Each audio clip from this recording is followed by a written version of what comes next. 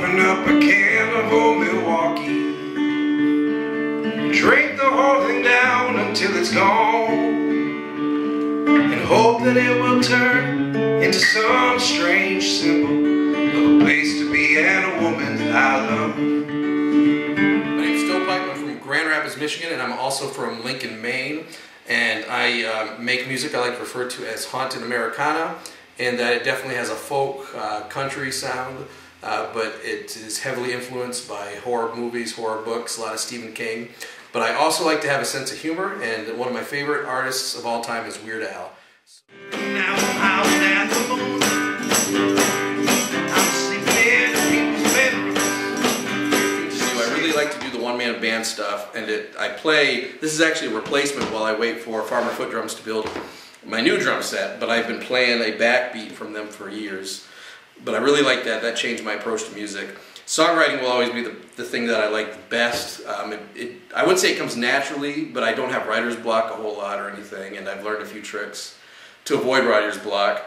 And um, actually, I think writer's block is the greatest possible gift you can have because basically what it means is that a, one of your wells has dried up, but the exciting is is that there's infinite wells inside of you. So when I started writing sad bastard music, and then one day could not write anymore, I started writing songs about like werewolves and, and women who are living on a, a post-apocalyptic Earth. Songwriting is my favorite thing to do, and I would say the biggest difference between the stuff I'm working on now and was is that, like I said, I uh, have always read a lot of Stephen King, but have been really reading him and uh, Stranger Things and all these great kind of uh, 80s like horror, satanic type stories, and I've been incorporating that into songwriting. Uh, but I think it's best to write quickly. Uh, and that's another thing I learned from punk music is don't fret about it too much. Uh, I was able to put out uh, four albums this year. Uh, one of them was a covers album of heavy metal songs. The rest were all original ones.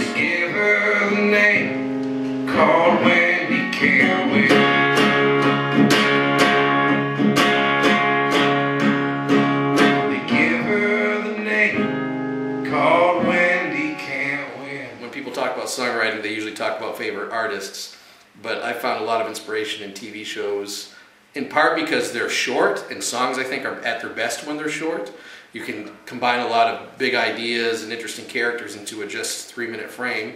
I know TV shows are like 30 minutes, but compared to like a movie, you know. Uh, so I found that to be very inspiring to write short, concise. My last album was a three part series called Love in the Time of Satanic Panic, which is supposed to be essentially a, a love story meets a horror story. Um, so, so kind of like Stephen King meets Townes Van Zandt is what I'm going for, uh, with a little bit more punk influence.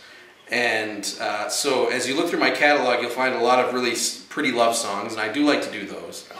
Uh, and I'm still going to do that. However, for instance, I got a song that starts as a pretty love song, and then it turns out she's just seducing the guy to murder him. Uh, and another one, it's uh, you know a love story, but it turns out the girl is a ghost. So, kind of turning things on their head and, and, and beating people's expectations. All right, ready?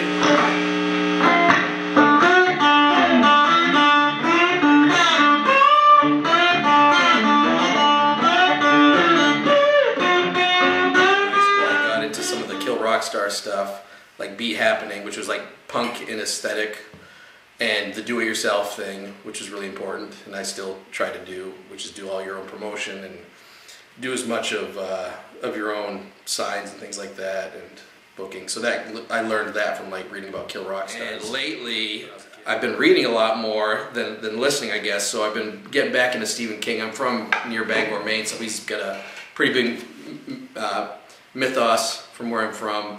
But a lot of my new lyrics have been inspired by him. I write a lot of songs lately about horror stuff, like the werewolf song or the girl who walks around hell and then a, a charred earth.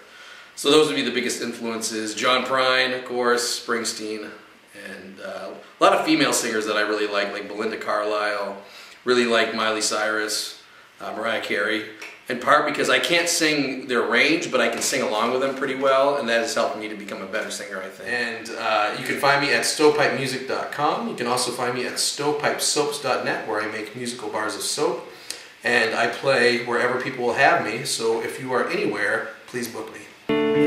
She laughs like angels waiting in a bedroom.